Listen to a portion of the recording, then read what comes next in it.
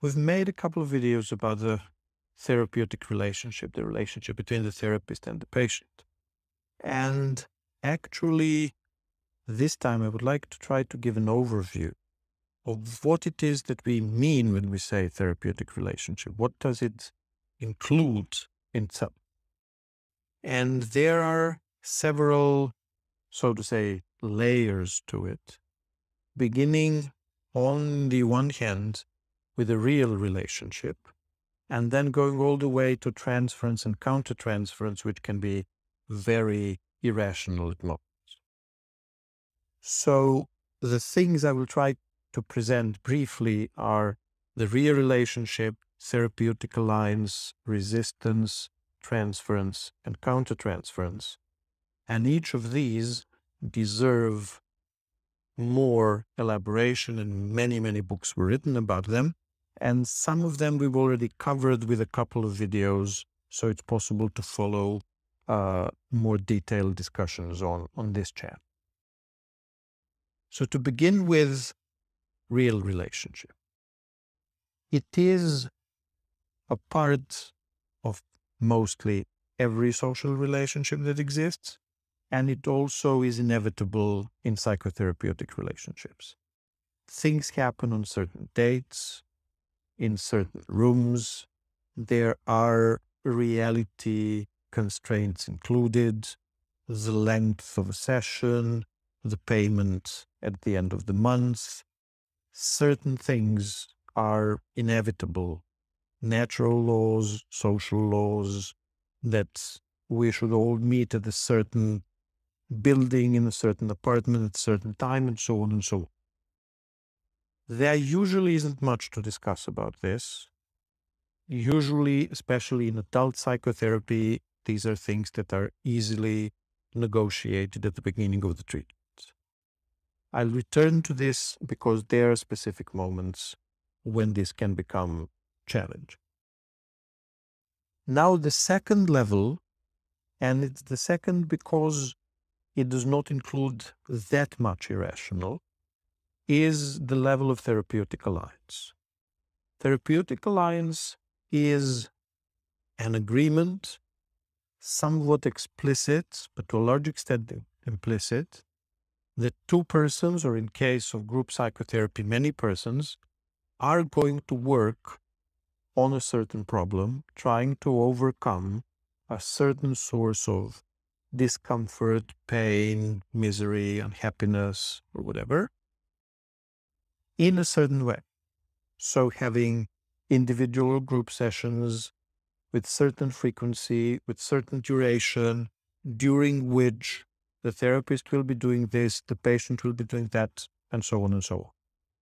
And this is defined sometimes in the world of psychoanalysis as an attempt by the analyst to collaborate with the rational part of the patient's ego.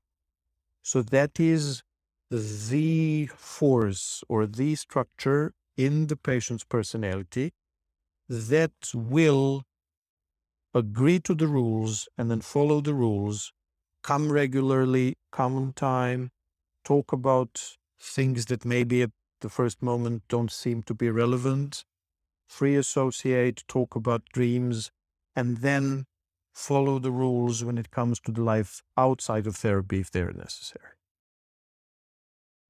Therapeutic alliance is, per definition, not exciting, and it should be the frame within which exciting things are going to happen. But therapeutic alliance in empirical psychotherapy research turns out to be the decisive factor that can predict the quality, the outcome of one psychotherapy. It is not the education or the therapeutic school or the frequency of sessions or the duration of the treatment as much as the quality of the therapeutic life. Just by the way, the second most important thing about this is the personality of the analyst again, not his or her education, school of choice, favorite author, IQ, or whatever. So the therapist needs at the very beginning to be completely focused on establishing the therapeutic alliance as best as possible so that the work will start. And once the work starts, the better the therapeutic alliance, the deeper the work is going to be, the more the patient can trust. This is a reliable person. This is a predictable space. This is a predictable time. The more relaxed and trustful the patient is going to be to dig deep into the problems, possible solutions, trauma, or whatever. This is not easy in the beginning and it is not easy later on.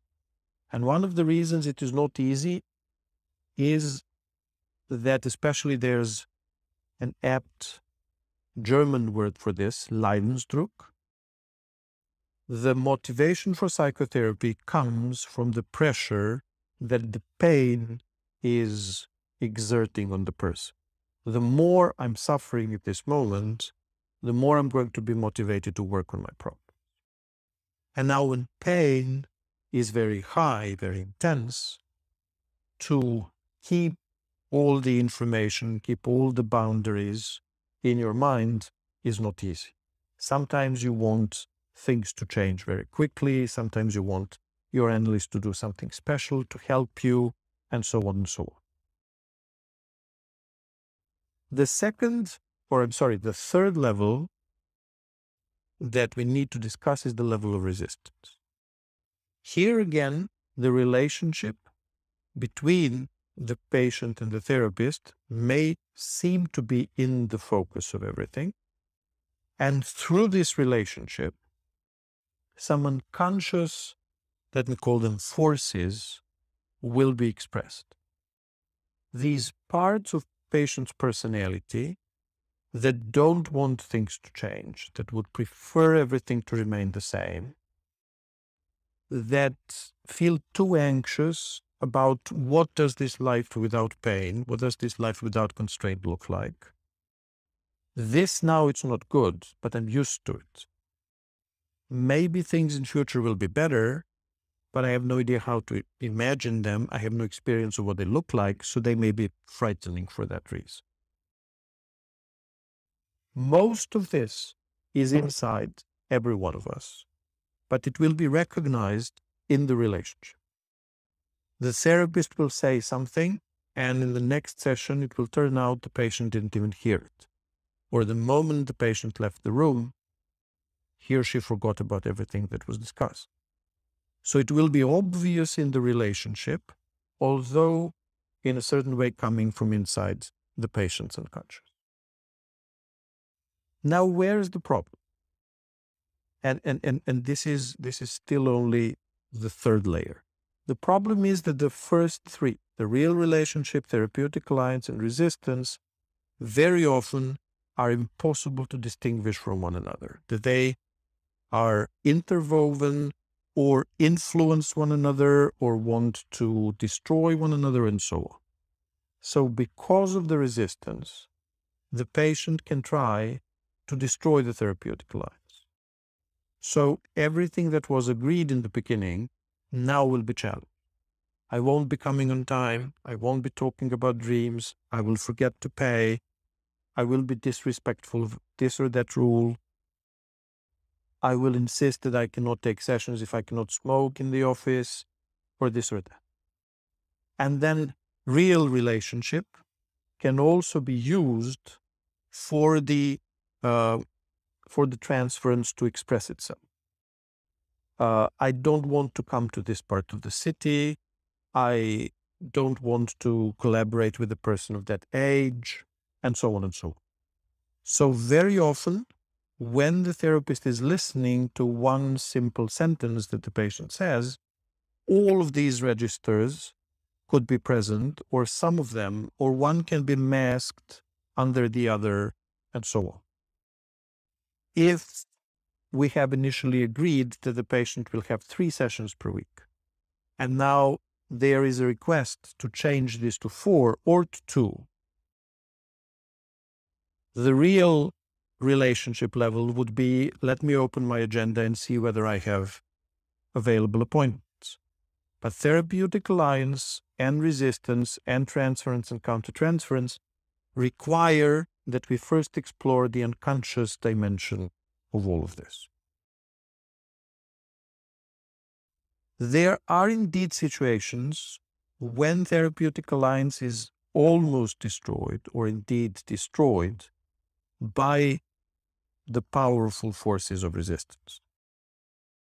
It is very well documented, especially in the case of borderline personality disorder patients. The dropout levels are extremely high, and although these persons require a lot of very careful treatment, most of them leave it very early for various reasons that, that unfortunately I cannot talk about at this moment. These so-called attacks on setting, attacks on therapeutic alliance, sometimes are that strong that patients leave, sometimes are that strong that analysts don't work carefully enough on them or consciously or unconsciously can hardly wait for the patient to leave so that they can get some relief from these attacks. So these different registers have to be taken into consideration as much as humanly possible at every moment. Now, things become really complicated when we include the level of transference and countertransference into this. And these two levels, to repeat this briefly, because we've already recorded several videos on, on, on these topics. Transference means partial, temporary, limited, loss of capacity to really distinguish between past and present, between the actual person, their present, and someone else who is important in my present or in my past to mix these figures, experiences, emotions to such an extent that their moments in therapy sessions or in between therapy sessions when the figure of the therapist, a professional person who really listens carefully to me, becomes so extremely important for the positive or for the negative reasons the therapeutic sessions at moment may become the center of my life so that basically the rest of my day is waiting for the next session to begin. And when these emotions are so intense, they can, so to say, shake the structure of the therapeutic work to, to a large extent. Because the therapist becomes not not almost not almost a parental figure, but actually in my emotional life a parental figure for me. I could forget about the therapeutic alliance and the agreement we made at the beginning and forget that actually I may even know that this person has a family and lives there and isn't this or that age or whatever, and wish for everything to change so that my transference wishes will somehow be uh, met and fulfilled. So, because of these reasons, I may want sessions to last incomparably longer than we have initially agreed, and then more or less everyone knows how long they last. I may want to be allowed not to pay for sessions so that I will have the feeling that I'm the favorite patient, and so on and so on. So a strong transference can shake the therapeutic alliance even more profoundly than resistance. And transference at moments can also be a form of resistance, which is a further complication. So now we have four different layers, four different registers. And when you try to think about them, then every sentence can mean so many different things. Every gesture can mean so different things, so many different things. Have we yesterday at the end of the session shaken hands or not? if we usually do but we haven't yesterday, what layers of meanings can that have? The patient usually pays regularly and now hasn't paid for three weeks. Is this just uh, my salary is late? Or is this some sort of an unconscious message that is full of emotion? Now, countertransference means, at the first moment, I would say a simple thing, and that is that the analysts, no matter how well trained, analyzed, and supervised, have the unconscious as well. That it is impossible to analyze anyone to that level that the unconscious will stop speaking independently of what we would like to have. So analysts in sessions have all sorts of reactions, thoughts in our minds, feelings, wishes, distractions, arousals, uh, memories, traumas, and so on and so on. And all of these get connected and to a certain extent provoked by the reactions of the patient. So our countertransference reacts to the patient's transference, but our countertransference also reacts to patient's resistance.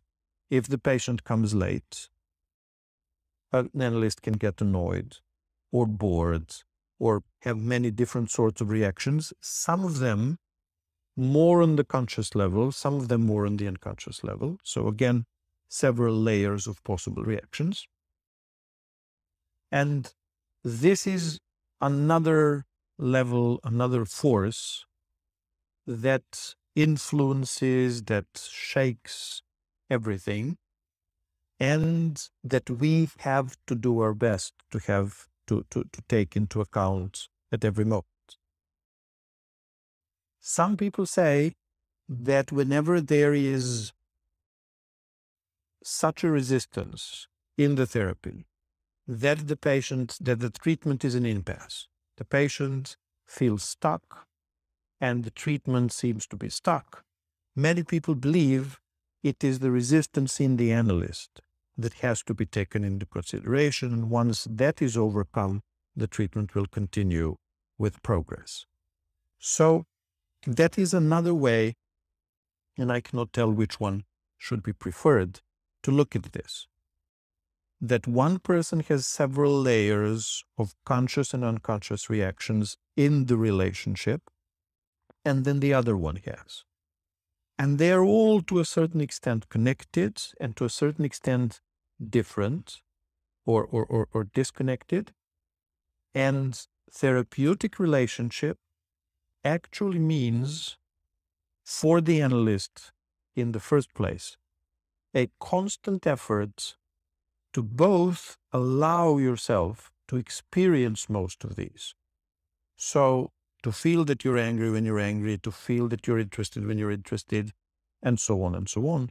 And at the same time, to have this self reflective capacity that you should follow, that you should monitor. I, I, I, probably should even say different layers of patient communication and different layers of what is going on in you and what you're communicating, and then to try to figure out what actually is going on in there which is at moments challenging intellectually and emotionally, but which makes this, this job unique and extremely inspiring and probably unlike any any other profession.